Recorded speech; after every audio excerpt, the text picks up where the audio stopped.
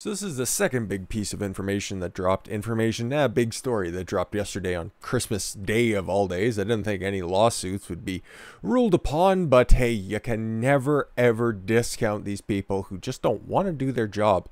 It's like if there's a turd on the floor, nobody wants to pick it up. They'll just kick it around with their feet and make up reasons why they can't touch it. It's like, oh, I don't have gloves. Uh, is it really? Uh, you can just kind of put uh, push it off and.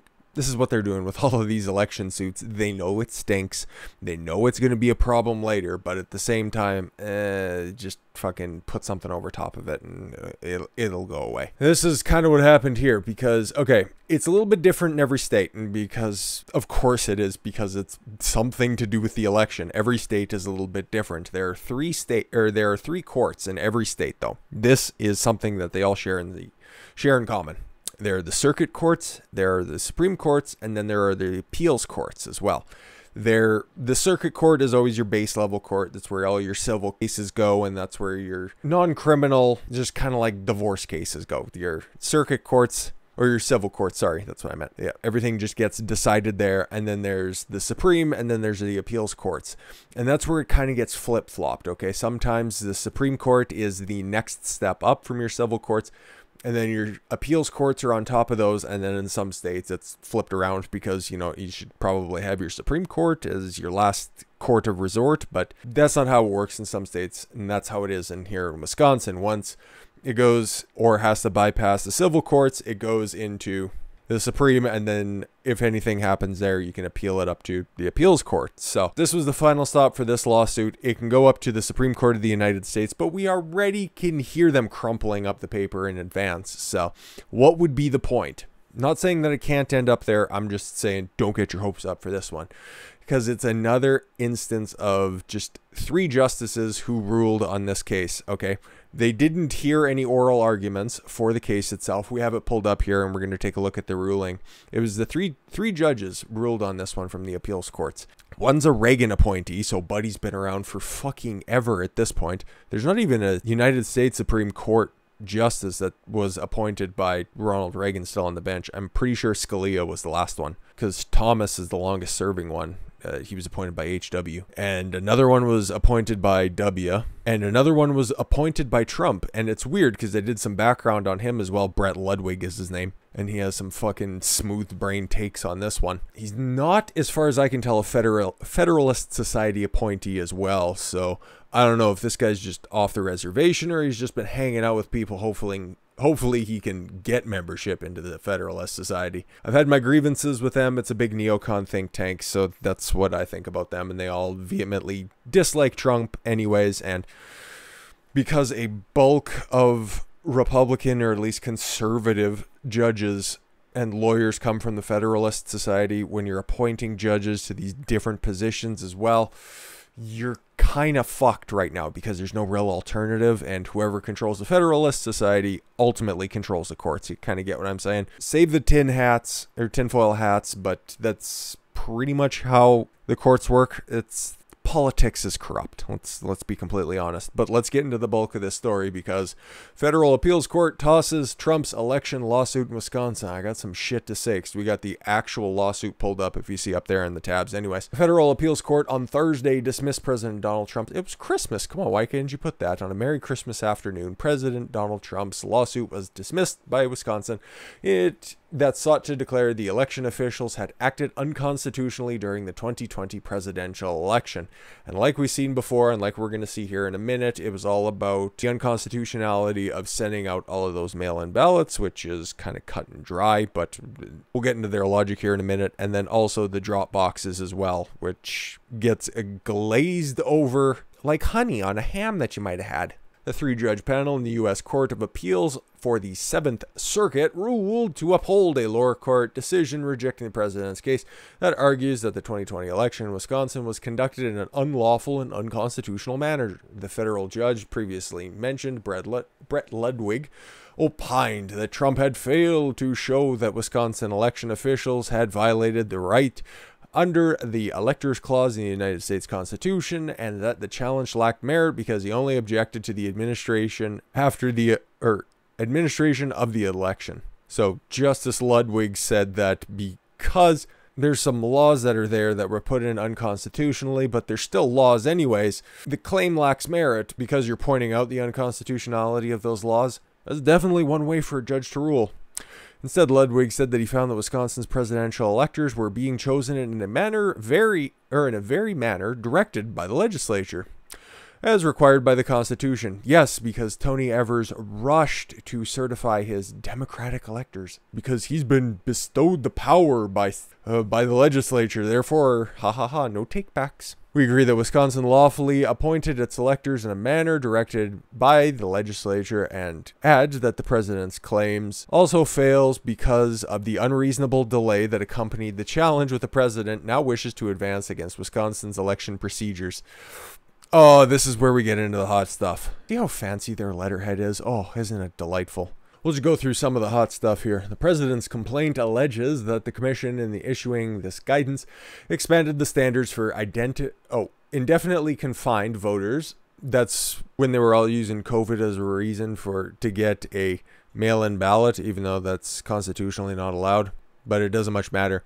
If you have a law on the books but you don't enforce it, you don't really have a law pretty much what we're saying here. They're just using them all willy nilly because nobody wants to get their fucking hands dirty, is the long and short of this. Invited voter fraud by authorizing the use of unstamped, oh, unstaffed drop boxes and misled municipal clerks about their powers to complete or correct address information on absentee ballots, all contrary to Wisconsin statutory law. So he acknowledges this in the setup for his ruling, but doesn't do anything about it. The president sought or declaratory and injunctive relief on the view that these alleged misinterpretations of state law infringed and invaded upon the Wisconsin legislature prerogative and directions under the Electors Clause Article 2 of the United States Constitution.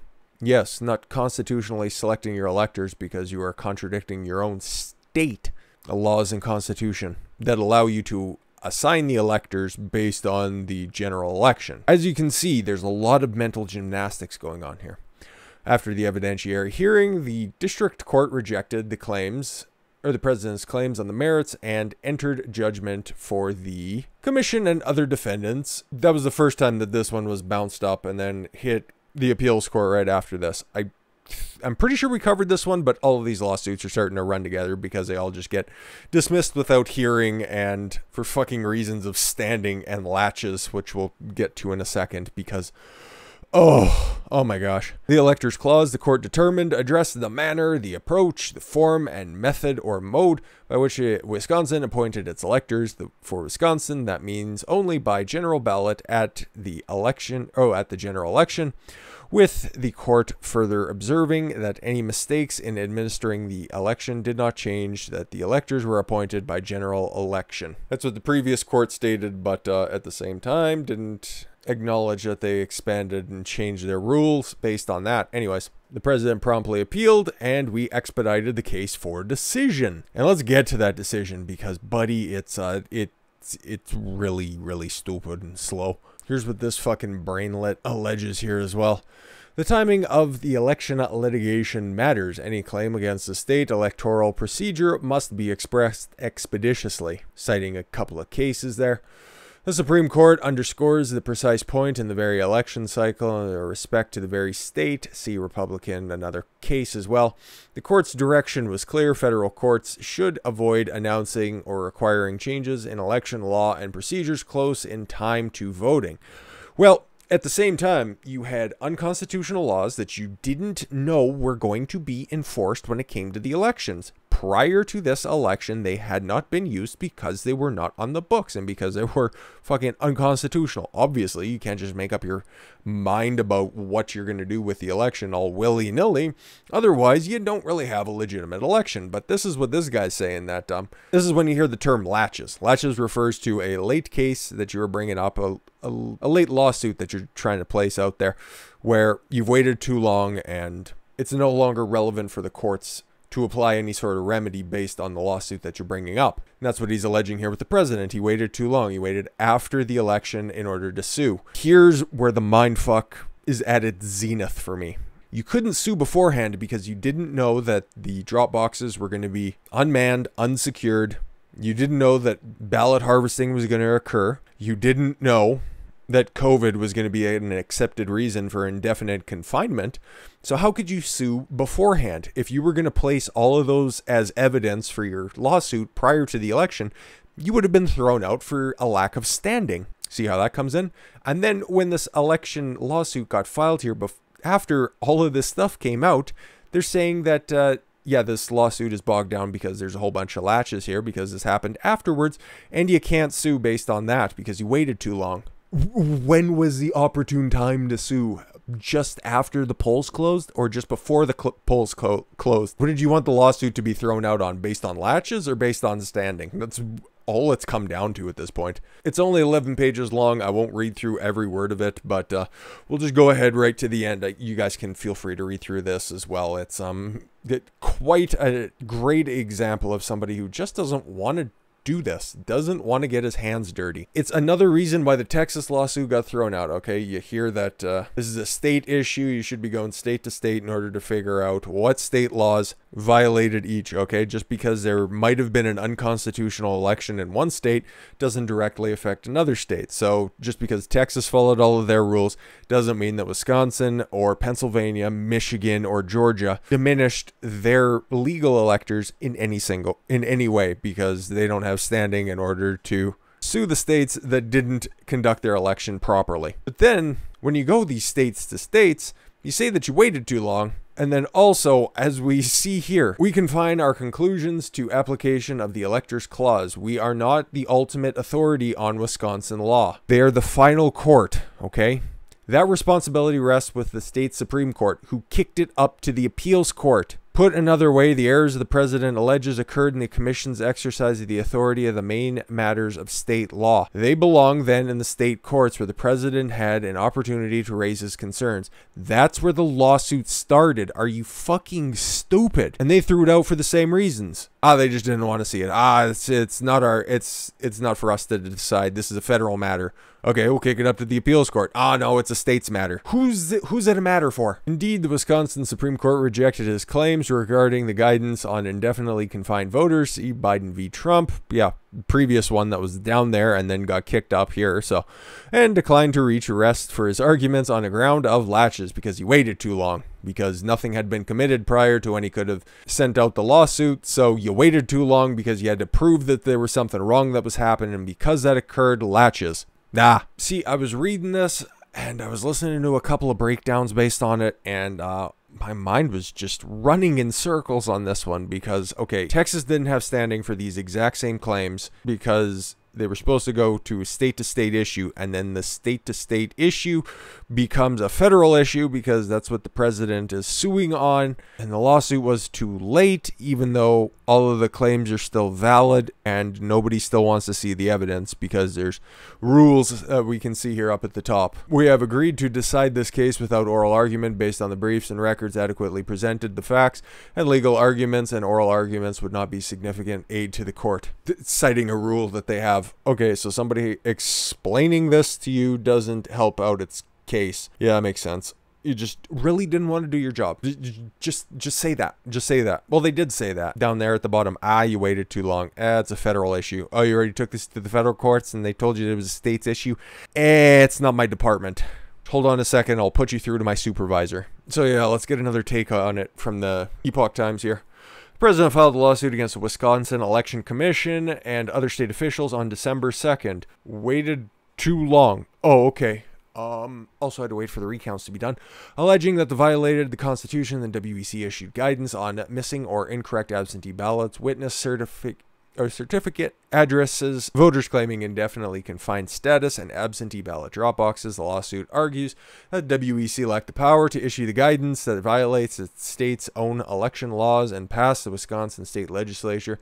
Remedy the situation, Trump asked the court to declare that election officials had violated the Constitution, their Constitution, state Constitution, and order the Wisconsin legislature to provide appropriate relief pursuant Article 2, Section 1.2 in the Constitution. The appeals court said it only reviewed the case within the scope of the electors clause and did not venture into deciding state law. Well, it's like third wave and fourth wave fe- fourth wave feminists viewing everything through a lens of feminism. Everything's racist, everything's sexist, and you have to point it out just viewing it through that narrow scope does the claims disservice. Okay, you're supposed to be applying the electors clause to the state level, but you're not using the unconstitutionality of some of those states' laws that were forced through by a body that doesn't have the rights to enforce them. It's so silly.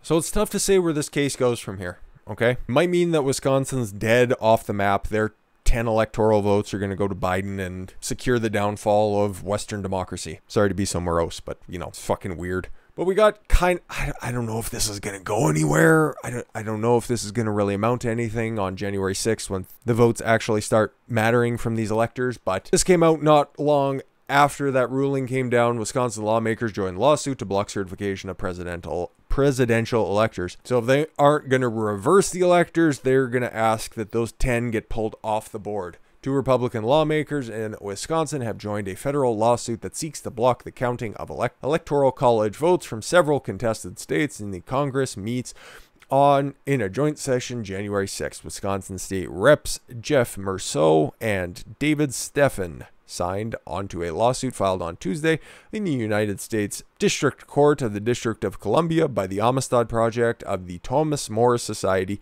and the Wisconsin Voters Alliance, among others. Also on these lists of plaintiffs are two GOP members of the House, or the Michigan House, Reps Matt Maddock and Daire Rendon.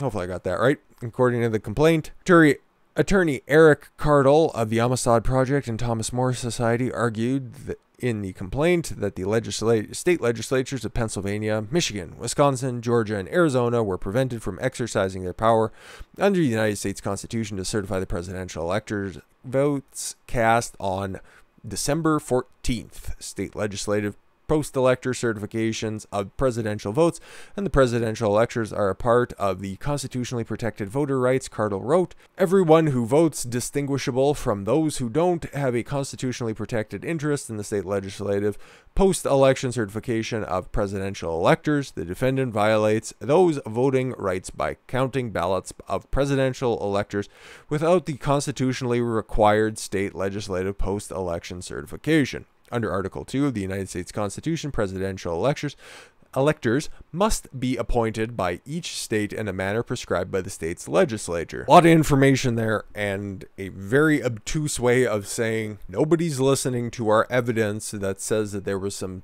funny stuff happening with this election, and because you aren't going to do that, we aren't going to certify your votes. That's what they're trying to do. Not saying that they're going to, but I don't know. Well, I do know based on what we've been seeing here. It's just going to go, oh, cool. There are textual and structural arguments for the state's statutes being unconstitutional, he wrote in the lawsuit, arguing that the state's laws are an unconstitutional delegation of the state legislative prerogatives of post election certifications of presidential votes and presidential electors. The lawsuit also argues that state legislatures, many which are adjourned until January 21st, are also being prevented from being or from meeting to perform their post election certification duty. We know that happened. Tom Wolf is not going to call a special session. Uh, Brian Kemp in Georgia is literally just saying words and not following through with any actions. And uh, Gretchen Whitmer couldn't be asked to get off her fucking ass, other than saying that she was relieved that she wasn't going to be the running mate for Biden.